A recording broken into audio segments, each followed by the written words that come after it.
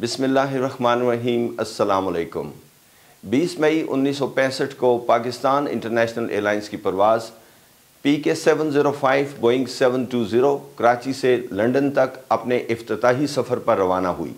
ये अहम परवाज़ एक शानदार मौका था, जिसमें एक सौ चौदह मुसाफरों के अलावा मुमताज़ मेहमान और सहाफ़ी और अमले के तेरह अरकान सवार थे।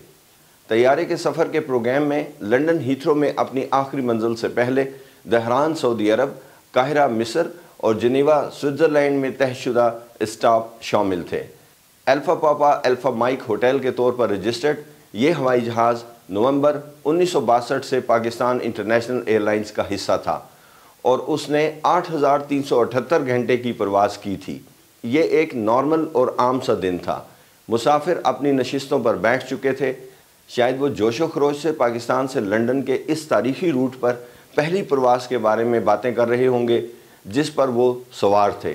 उन्हें इस बात का क्या पता था कि काहिरा बैन अवी हवाई अड्डे पर मामूल की लैंडिंग जल्द ही एक हादसे में बदल जाएगी। जैसे ही flight P K seven zero five ने काहिरा में लैंडिंग करने के लिए नीचे उतरना शुरू किया, डिसेंड करना शुरू किया, पायलट ने एयर ट्रैफ़िक कंट्रोल को फ्लैप्स प्रॉब्लम के बारे में बताया। फ्लैप्स हवाई जहाज़ों के परों में लगे हुए अहम अज्जा हैं, जो लैंडिंग के दौरान कम रफ्तार पर तैयारी की लिफ्ट को बढ़ाने के लिए इस्तेमाल होते हैं। इसके बाद क्या हुआ? इसकी सही तफसीलात इसरार में डूबी हुई हैं। तैयारे ने अपना डिसेंट नीचे उतरने का अमल जारी रखा, लेकिन लैंडिंग से पहले महफूज बुलंदी बरकरार रखने में नाकाम रहा और तैयारा हवाई अड्डे के जनूब मशरक में ज़मीन से टकरा कर तबाह हो गया। इस फ़्लाइट की लैंडिंग का अमल एक तबाह कन धमाके और आतिशगीर मलबे में ख़त्म हुआ। यह हादसा फौरी और तबाह कन था पाकिस्तान इंटरनेशनल एयरलाइंस के लिए इस ज़बरदस्त इंटरनेशनल रूट की पहली प्रवास अब अफरा तफरी और तबाही का मंजर पेश कर रही थी। शोलों ने टूटे हुए हवाई जहाज़ को अपनी लपेट में ले लिया और इस आग के दरमियान सिर्फ़ छः अफराद मौजाना तौर पर बच सके।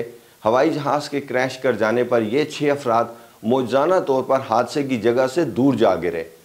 हलाक हो जाने वाले 121 अफराद में चीनी लड़ाका जेट शेन जे एट के चीफ डिज़ाइनर हवांग जिकियांग भी शामिल थे, जो एरोस्पेस कम्युनिटी के लिए एक अहम नुकसान था।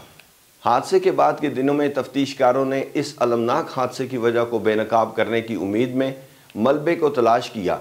हवाई जहाज़ के मलबे में उन्हें एक ठीक हालत में ट्रांजिस्टर रेडियो सेट मिला। इस ट्रांजिस्टर रेडियो सेट के अंदर एक लाख बीस हज़ार डॉलर मालियत के हीरे छुपाए गए थे, जो बिल्कुल ठीक हालत में थे। इस दरियाफ्त ने फ़्लाइट के अलमनाक क्रैश को मज़ीद पुरस्कार बना दिया, जो प्रेस में डिस्कस होता रहा। सरकारी तहकीकात ने यह नतीजा अखज़ किया कि तैयारा अपनी लैंडिंग के दौरान मतलूबा ऊंचाई को बरकरार रखने में नाकाम रहा और ज़मीन से टकरा गया। शायद इसकी वजह वही फ्लैप्स प्रॉब्लम थी, जो पायलट ने एयर ट्रैफ़िक कंट्रोल को बताई थी। क्या क्रैश की वजह यही तकनीकी खराबी, पायलट की गलती या गैर मुतव बेजाबती थी? असल वजह पोशीदा रही, हमेशा उन शोलों में छुपी रही, जिसने हवाई जहाज़ में सवार तकरीबन हर शख्स की जान ले ली। फ़्लाइट 705 की अलमनाक कहानी को ना सिर्फ़ गुमशुदा जानों के लिए याद किया जाता है, बल्कि इसकी मौत की पुरस्कार नवैत के लिए भी याद किया जाता है। हर साल हादसे की बरसी के मौका पर पाकिस्तानी सफारत खाने के नुमाइंदों और काहरा में मौजूद मुकामी बरदरी के अरकान की तरफ़ से एक यादगार पर फूलों की चादर चढ़ाई जाती है। वो मुतासरीन को एजाज़ देने के लिए जमा होते हैं और हवाबाजी की तारीख के एक ऐसे लम्हे पर गौर करते हैं जो दिल दहला देने वाला और हैरान कन था।